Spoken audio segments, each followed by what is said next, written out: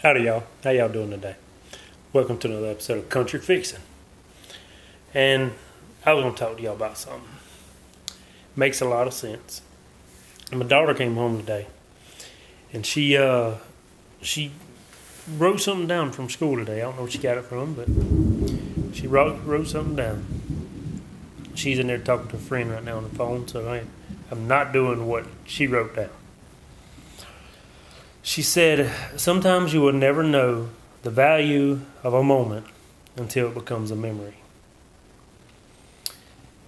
And she said that, and I'm like, you know, I've thought of that a million times. I never really thought about that a million times.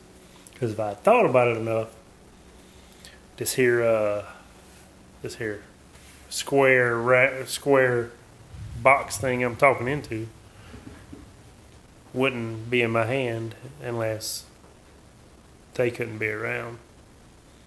Or they was doing something else or all loved ones was doing something else. So my thought is just making sure y'all know the importance of moments.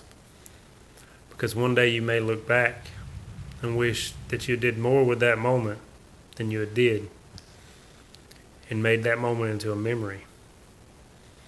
Because once the moment's gone, you can't never get it back. Once something's said or not said, it can never be redone, whichever way it goes. So just keep that in mind. And in the meantime, thank y'all for tuning in to another episode of A Country Fixin. And y'all have yourself one of them there splendid days and enjoy them moments while you have them. Have a good one.